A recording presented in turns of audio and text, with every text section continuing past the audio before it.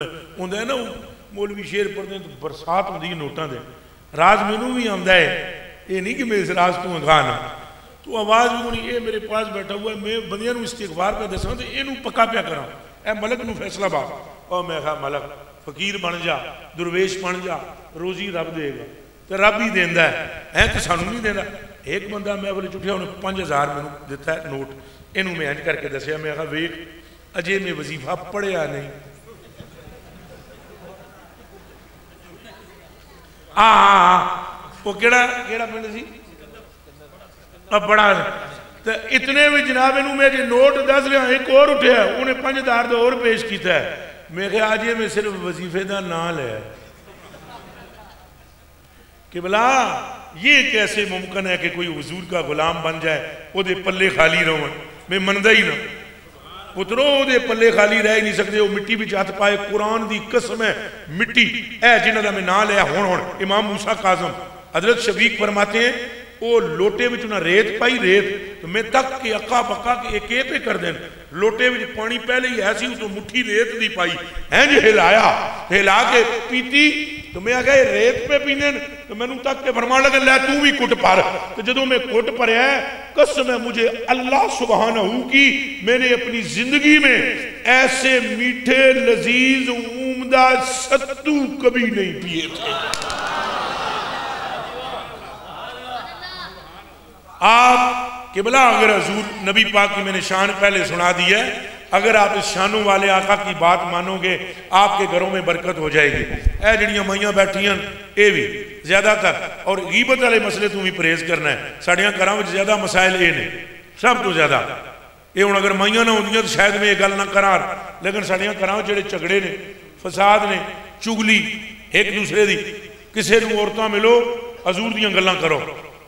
सैयदा फातिमा तुजारा सलामुल्ला अलैह की गल करो अपनी शर्म से आजाद गल करो उस बीबी की बात करो और तस्वीर फातिमा पर तस्करा करो तैंती वरी सुबहान अल्लाह तैंती वरी अलहमदुल्ला चौंती वरी अल्लाह अकबर तस्वीर सैयदा जारा है इसके बारे में एक दूसरे को बतलाओ जो कोई भैन एक दूसरी भैन को मिले वो उन्होंने पूछे हे भैन तू वो तस्वीर पढ़ती है ਜਿਹੜੀ जन्नत की औरतों की सरदार की तस्वीर है तो थोड़िया जबाना से सैयदा का नाम ही आ जाएगा और थोड़िया लबा से उन्होंने सदके तस्वीर भी जारी हो जाएगी। एक आम गल तुम दसा अगर तुसा गिबत ना छोड़ी, एक दूसरे के ऐप तलाश करते रहे हो, भावे जाके गोस पाक वालों भी तवीज लिया हो तो किस्मत बदलनी कोई नहीं। किस्मत उदों बदलेगी जो हजूर गोस पाक के नाने की गल मनी जाएगी। ਤੇ ਮਾਈਆਂ ਪੈਣਾ ਵਾਲੇ ਪਾਸੇ ਮੈਂ ਦੇਖਦਾ ਨਾ ਉਂਝ ਨਾ ਤੁਹਾਨੂੰ ਇਹ ਆਦਾ ਵੀ ਤੁਸੀਂ ਹੱਥ ਖੜੇ ਕਰੋ ਸ਼ਰਮ ਦੇ ਪੈਕਰ ਰਹਿਣਾ ਚਾਹੀਦਾ ਖਵਾਤੀਨ ਨੂੰ ਤੁਸੀਂ ਬਸ ਇਹ ਆਪਣੇ ਦਿਲ ਵਿੱਚ ਵਾਅਦਾ ਕਰ ਲਓ ਕਿ ਅੱਲਾਹ ਪਾਕ ਨੂੰ ਹਾਜ਼ਰ ਜਾਣ ਕੇ ਤੁਸੀਂ ਕਹਿੰਦੀ ਹੋ ਕਿ ਯਾ ਅੱਲਾ ਪਿਛਲੀਆਂ ਖਤਾਵਾਂ ਮਾਫ ਕਰ ਅਸਾਂ ਕਿਸੇ ਦੀ ਵੀ ਗੀਬਤ ਨਹੀਂ ਕਰਨੀ ਅਸਦ ਵੀ ਨਹੀਂ ਕਰਨਾ ਚੁਗਲੀ ਵੀ ਨਹੀਂ ਕਰਨੀ ਤੇ ਇੱਕ ਰਾਜ਼ ਦੀ ਗੱਲ ਹੋਰ ਵੀ ਦੱਸਾਂ ਅਗਰ ਤੁਸੀਂ ਇਹ ਚਾਹੁੰਦੇ ਹੋ ਕਿ ਤੁਹਾਨੂੰ ਦੁਨੀਆ ਵਿੱਚ ਇੱਜ਼ਤ ਮਿਲੇ ਤੇ ਦੂਜਿਆਂ ਦੇ ਐਬਾਂ ਤੇ ਪਰਦੇ ਪਾਓ के पाना है आ पर्दा यहां भी पर्दा होना चाहिए था बारीक पर्दा जिस तरह इधर लगा हुआ है ऐसे आइंदा लगा लेंगे इनशाला आपको बरकत होगी आप हमारी माएँ हैं आप हमारी बहनें हैं आप पर हमारी जान कुर्बान है हमारी माँ वो भी औरत है आप भी औरत हैं हमारी बहन, हमारी बेटी, यहाँ पर जो मुझसे उम्र में बड़ी है, वो मेरी माँ की तरह है। और जो मेरे उम्र में बराबर है, वो मेरी बहन की तरह है। और जो मुझसे उम्र में छोटी है, वो मेरी बेटी की मिसल है।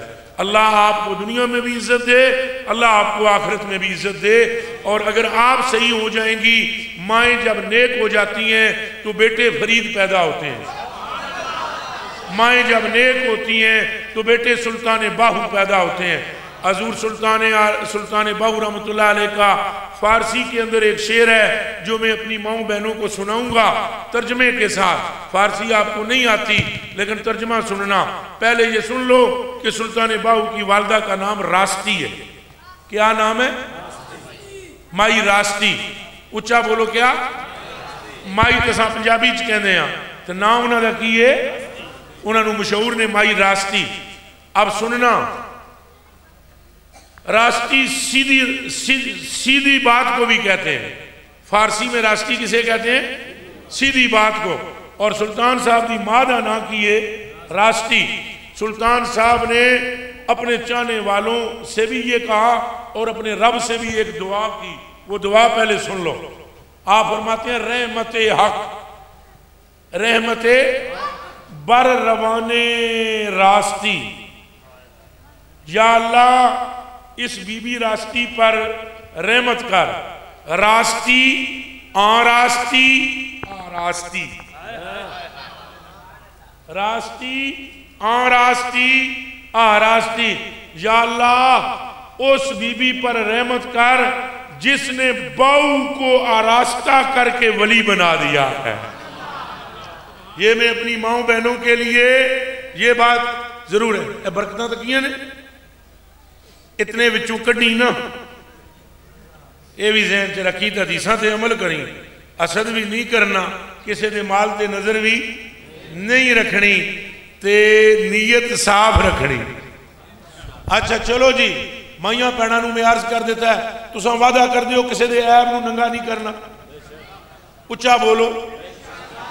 नहीं, एक बार जाग के बोलो, मैंने पता है ढाई त्रै बज रहे। उच्चा बोलो। सारी महफल साड़ी कामयाब हो जाएगी, अगर तुम दिल न वादा कर लो। ये जितना किया ज़िक्र जन्नत सनू जी लभ जानी कमले अल्लाह अल्लाह के रसूल की कसम है रिजवी। जन्नती होने में कमाल नहीं ज़्यादा। कमाल इस है, जन्नत भी रसूलुल्लाह के नाल होना। हजूर ने इंज किया है मेरे हाल तको मेरे हाल।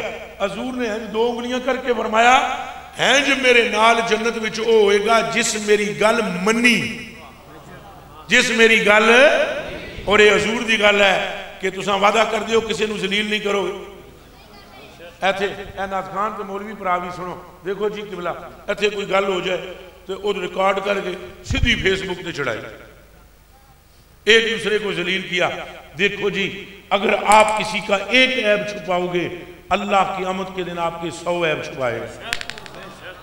आप वादा करते हैं, मैं अंदलीब चमनस्तान मुस्तफ़ा व बुलबुल दबस्तान मुर्तज़ा, कुश्ताए विलाए आले मुस्तफ़ा। हज़रत इफ्तार रिजवी साहब, आज मैंने पता है क्यों इतना अच्छा नाम लिया है आपका? आज तुसा ना सुना है मेरे दिल में थोड़ी कदर वधी यकीन करो, वधी है। अल्लाह इन्होंने सारे का भी ये भी सारे आशके रसूल ने। इंज नहीं तो तुसा भी घट ना हो।